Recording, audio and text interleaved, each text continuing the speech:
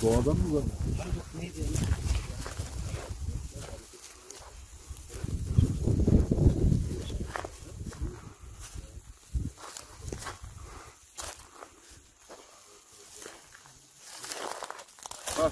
Cihan. Tam eee, şu alandan doğru yürüyeceksin tamam mı? Bir hat şuradan yürüyorsun. Böyle yürüyeceksin. Tamam mı? Bekle beni bekle benim işim bitsin.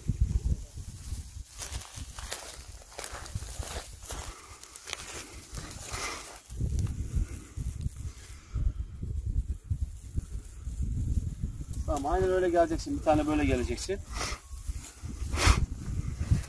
Sen de sen de üst tarafa geç. Güneş var ya. Ha, öyle yap. 10 metre yap.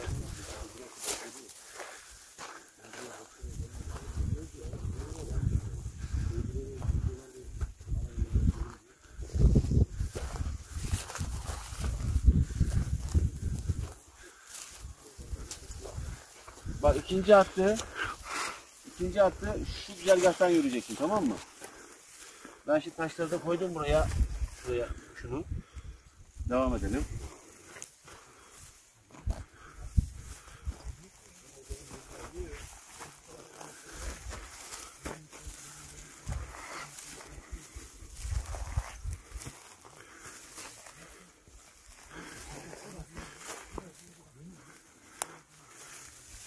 Bak tam şurası. Şuraya doğru yürüyeceksin. Oradan sonra bir de şuradan yürüyeceksin ama özellikle şuraya doğru yürüyeceğiz bak. Tamam.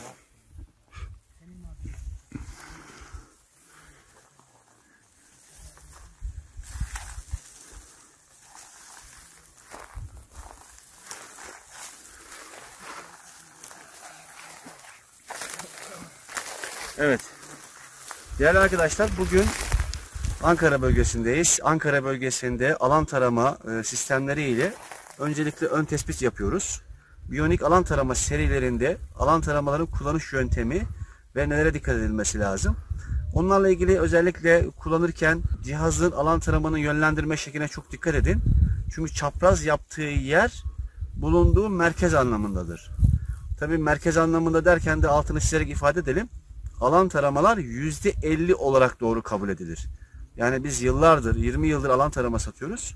Alan taramanın yöntemlerindeki, tespit yöntemindeki doğruluk oranı %50'dir. Yani hata yapma ihtimalleri vardır. Madenli yapılarda hata yapabiliyorlar. Bunun için tespit yaptığımız alanın eni ve boyunu, bakın eni ve boyunu anladıktan sonra görüntüleme sistemleri ve dedektör sistemleriyle de tamamen %100 olarak teyit etmeye çalışıyoruz. Şimdi alan taramayla tespitimizi yaptıktan sonra Marduk AZ7000'de Mala e, lokatör sisteminin 350 kHz'lik anteni var. 8 metreye de garantili olan bir anten. Yine Marduk AZ7000'de var. Tabi burada bize söylenen bilgiye göre şu karşı tarafta bir deve işareti var. Şimdi birazdan oraya da gideceğiz. Devenin bulunduğu yerle devenin baktığı alan burada bir sırt var. Gördüğünüz gibi. Alan tarama çubuklarımızı buraya getirdi. Bu alanda oda olduğundan şüpheleniyoruz. O yüzden bu alan tarama tespitini yaptık. Burada 2 ya da 3 alanda bir bize e, yön verdi alan taramamız. Şimdi bunu diğer e, Mala'nın sistemiyle ve Marduk AZ7000 ile gerçekten doğru bir tespit e, var mı yok mu onu netleştireceğiz. Şimdi birazdan devam edeceğiz e, Mala çekimlerimize. Bak bizi yönlendirdiğimiz alan buradan geliyoruz.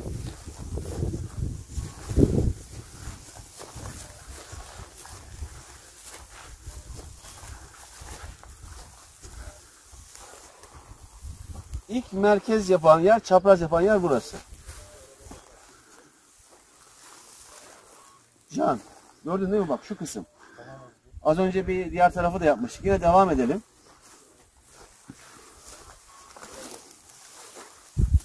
İkinci alanımıza. Hı hı.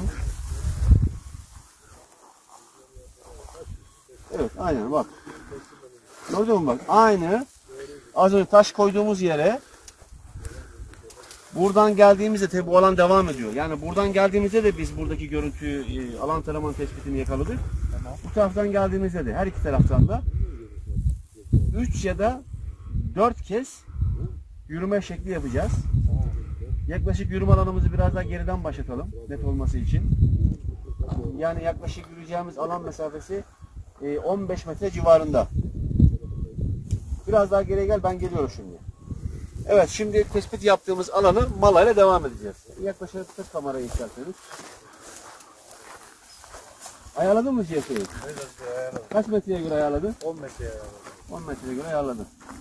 Her şey Tamam. Şimdi sen yavaş yavaş yürümeye başla. Tamam mı? Yürümeye.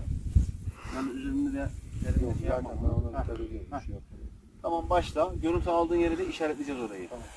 Şimdi değerli arkadaşlar. Malanın bir özelliği var. Yani malanın özelliği e, yer altında yapılmış olan bir odanın tahmini tavan seviyesini anlayabiliyoruz. En büyük özelliklerinden bir tanesi bu. İkincisi antenlerin okuma mesafesi dediğimiz yani yürüme mesafesini alabiliyorsunuz cihazda.